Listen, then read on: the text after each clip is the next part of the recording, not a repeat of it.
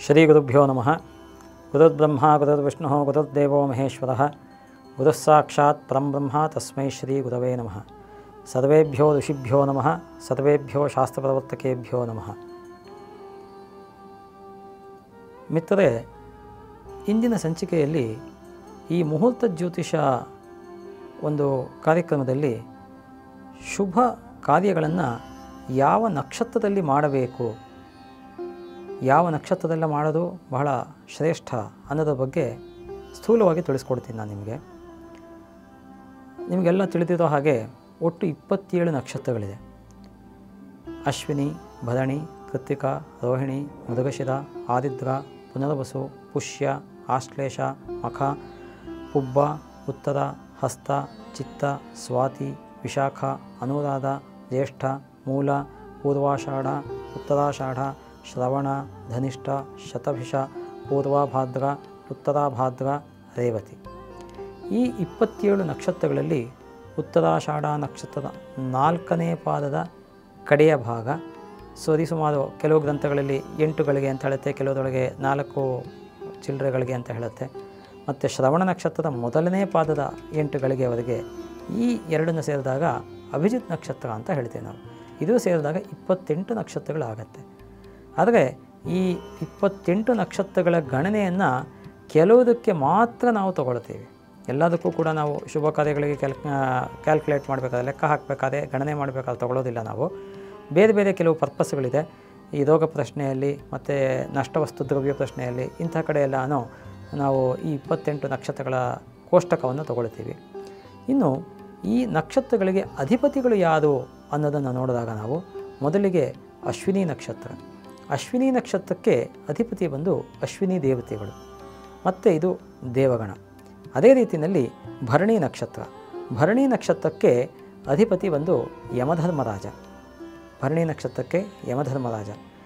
ಕೃತ್ತಿಕಾ ನಕ್ಷತ್ರಕ್ಕೆ ಅಧಿಪತಿ ಬಂದು ಅಗ್ನಿದೇವ. ಕೃತ್ತಿಕಾ ಆದಮೇಲೆ ರೋಹಿಣಿ. ರೋಹಿಣಿ ನಕ್ಷತ್ರಕ್ಕೆ ಅಧಿಪತಿ ಬಂದು ಪ್ರಜಾಪತಿ, ಅಂದರೆ ಬ್ರಹ್ಮ ಅಂತ ಹೇಳ್ತೇವೆ ನಾವು.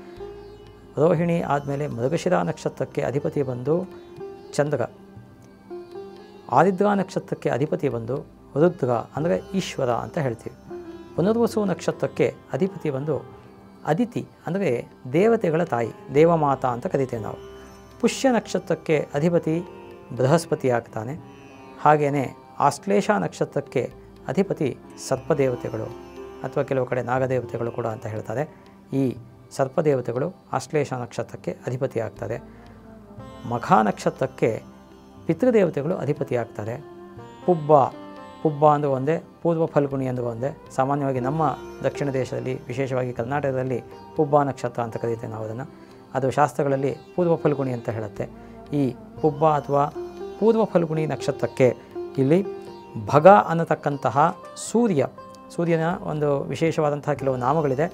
ಅದರೊಳಗೆ ಭಗ ಅನ್ನತಕ್ಕಂತಹ ಸೂರ್ಯ ಅಧಿಪತಿ ಆಗ್ತಾನೆ ಅದೇ ರೀತಿಯಲ್ಲಿ ಉತ್ತರ ನಕ್ಷತ್ರಕ್ಕೆ ಅರಿಯಮ ಅನ್ನತಕ್ಕಂತಹ ಸೂರ್ಯ ಅಧಿಪತಿ ಆಗ್ತಾನೆ ಹಾಗೆಯೇ ಹಸ್ತ ನಕ್ಷತ್ರಕ್ಕೆ ಸವಿತ್ರು ಅನ್ನತಕ್ಕಂತಹ ಸೂರ್ಯ ಅಧಿಪತಿ ಆಗ್ತಾನೆ ಹಾಗೆಯೇ ಚಿತ್ತ ನಕ್ಷತ್ರಕ್ಕೆ ತ್ವಷ್ಟ ಅಂದರೆ ವಿಶ್ವಕರ್ಮ ಅಂತ ಹೇಳ್ತೇವೆ ನಾವು. ದೇವತೆಗಳ ಶಿಲ್ಪಿ. ದೇವತೆಗಳಿಗೆ ಭವನವನ್ನು, ವಾಸ್ತುವನ್ನು ಅಂದರೆ ಕಟ್ಕೊಡ್ತಕ್ಕಂಥವನು ಆ ಒಂದು ವಿಶ್ವಕರ್ಮ. ಅವನು ಚಿತ್ತ ನಕ್ಷತ್ರಕ್ಕೆ ಅಧಿಪತಿ ಆಗ್ತಾನೆ ಹಾಗೆ ಸ್ವಾತಿ ನಕ್ಷತ್ರಕ್ಕೆ ಅಧಿಪತಿ ಆಗ್ತಕ್ಕಂಥದ್ದು ವಾಯುದೇವ. ನರಸಿಂಹದೇವರು ಹುಟ್ಟಿರ್ತಕ್ಕಂಥದ್ದು ಕೂಡ ಸ್ವಾತಿ ನಕ್ಷತ್ರದಲ್ಲಿ. ವಿಶಾಖ ನಕ್ಷತ್ರಕ್ಕೆ ಅಧಿಪತಿ ಬಂದು ಇಂದ್ರ ಮತ್ತು ಅಗ್ನಿ, ಈ ಎರಡು ದೇವತೆಗಳು, ದ್ವಂದ್ವ ದೇವತೆಗಳು ಅಂತ ಹೇಳ್ತೀವಿ ನಾವು ವೇದದಲ್ಲಿ. ಹಾಗೆ ಇಂದ್ರ ಮತ್ತು ಅಗ್ನಿ ಇವೆರಡೂ ಸೇರಿ ವಿಶ್ ವಿಶಾಖ ನಕ್ಷತ್ರಕ್ಕೆ ಅಧಿಪತಿಯಾಗ್ತಾರೆ. ಹಾಗೆಯೇ ಅನುರಾಧ ನಕ್ಷತ್ರಕ್ಕೆ ಮಿತ್ರ ಅನ್ನತಕ್ಕಂತಹ ಸೂರ್ಯ ವಿಶೇಷವಾದಂತಹ ನಾಮ ಮಿತ್ರನಾಮಕ ಸೂರ್ಯ ಅಧಿಪತಿ ಆಗ್ತಾನೆ ಹಾಗೆಯೇ ಜ್ಯೇಷ್ಠ ನಕ್ಷತ್ರಕ್ಕೆ ಇಂದ್ರ ಅಧಿಪತಿ ಆಗ್ತಾನೆ ಕೆಲವು ಗ್ರಂಥಗಳಲ್ಲಿ ಶುಕ್ರ ಅಂತ ಕೂಡ ಹೇಳ್ತಾರೆ. ಆದರೆ ಶುಕ್ರನದು ಜ್ಯೇಷ್ಠ ನಕ್ಷತ್ರ. ಹಾಗೆಯೇ ಮೂಲ ನಕ್ಷತ್ರಕ್ಕೆ ಧನುಜ ಅಥವಾ ನಿರ್ವೃತಿ ಅನ್ನತಕ್ಕಂತಹ ರಾಕ್ಷಸ ಅಧಿಪತಿಯಾಗ್ತಾನೆ. ಈ ಮೂಲ ನಕ್ಷತ್ರ ಕೆಲವು ಶುಭ ಕಾರ್ಯಗಳಿಗೆ ಹೇಳಿದೆ, ಕೆಲವು ಶುಭ ಕಾರ್ಯಗಳಿಗೆ ಹೇಳಿಲ್ಲ.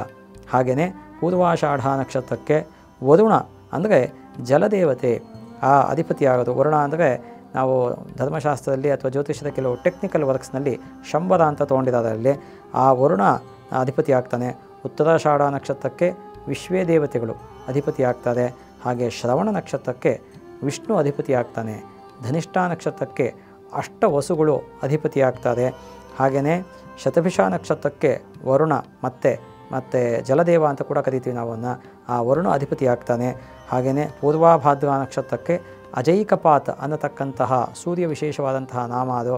ಆ ಅಜೈಕಪಾತ ಅನ್ನತಕ್ಕಂತಹ ಸೂರ್ಯ ಅಧಿಪತಿ ಆಗ್ತಾನೆ. ಹಾಗೆ ಉತ್ತರಾಭಾದ್ರ ನಕ್ಷತ್ರಕ್ಕೆ ಅಹಿರ್ಬುಜ್ಞ ಅನ್ನತಕ್ಕಂಥವನು ಅಧಿಪತಿ ಆಗ್ತಾನೆ. ಮತ್ತು ರೇವತಿ ನಕ್ಷತ್ರಕ್ಕೆ ಪೂಷಾ ನಾಮಕ ಸೂರ್ಯ ಅಧಿಪತಿ ಆಗ್ತಾನೆ. ಮತ್ತು ಅಭಿಜಿನ್ ನಕ್ಷತ್ರಕ್ಕೆ ವಿಧಿ ಅಂದರೆ ಬ್ರಹ್ಮ ಅಧಿಪತಿ ಆಗ್ತಾನೆ. ಹೀಗೆ ಈ ಇಪ್ಪತ್ತ ಏಳು ಮತ್ತು ಒಂದು ಇಪ್ಪತ್ತೆಂಟು ನಕ್ಷತ್ರಗಳಿಗೆ ಈ ಇಪ್ಪತ್ತೆಂಟು ಅಧಿಪತಿಗಳು ಇರ್ತಾರೆ ಒಂದೊಂದು ನಕ್ಷತ್ರಗಳಿಗೂ ಕೂಡ ನಾವು ದೇವಗಣ, ಮನುಷ್ಯಗಣ, ರಾಕ್ಷಸಗಣ ಅನ್ನತಕ್ಕಂಥದ್ದು, ಇರತಕ್ಕಂಥದ್ದು. ಹಾಗೆಯೇ ಈ ನಕ್ಷತ್ರಗಳಿಗೆ ಯೋನಿ ಕೂಡ, ಅಂದರೆ ಪ್ರಾಣಿಗಳು ಕೂಡ ಇರತಕ್ಕಂಥದ್ದು. ಇದೆಲ್ಲವನ್ನೂ ಕೂಡ ನೋಡ್ಕೋಬೇಕಾಗತ್ತೆ. ಶುಭ ಕಾರ್ಯಗಳಿಗೆ ನಾವು ನೋಡಬೇಕಾದಾಗ, ಸಾಮಾನ್ಯವಾಗಿ ವರ್ಜ್ಯವಾದ ನಕ್ಷತ್ರಗಳನ್ನು ನೋಡಬೇಕಾದಾಗ, ಮುಖ್ಯವಾಗಿ ಭರಣಿ, ಕೃತ್ತಿಕ, ಮತ್ತು ಆಶ್ಲೇಷ, ಮಖ ವಿಶ ವಿಶಾಖ, ಮತ್ತು ಮೂಲ ಆರುದ್ರ ಜ್ಯೇಷ್ಠ. ಇದಷ್ಟನ್ನು ಜನರಲ್ಲಾಗಿ ಶುಭ ಕಾರ್ಯಗಳಿಗೆ ಪ್ರಶಸ್ತ ಅಲ್ಲ ಅಂತ ಹೇಳ್ತಾರೆ. ಅದೇ ರೀತಿಯಲ್ಲಿ ಈ ವರ್ಜ್ಯ ನಕ್ಷತ್ರಗಳಲ್ಲಿ ಮುಖ್ಯವಾಗಿ ಯಾವುದನ್ನು ಮಾಡಲೇಬಾರ್ದು ಅಂದರೆ ಭರಣಿ ನಕ್ಷತ್ರದಲ್ಲಿ ಕೃತಿಕಾ ನಕ್ಷತ್ರದಲ್ಲಿ, ಆಶ್ಲೇಷ ನಕ್ಷತ್ರದಲ್ಲಿ ಮತ್ತು ವಿಶಾಖ ನಕ್ಷತ್ರದಲ್ಲಿ ಯಾವುದೇ ಶುಭ ಕೆಲಸವನ್ನು ಮಾಡಬಾರ್ದು ಅನ್ನೋದನ್ನು ವಿಶೇಷವಾಗಿ ಹೇಳಿರ್ತಾರೆ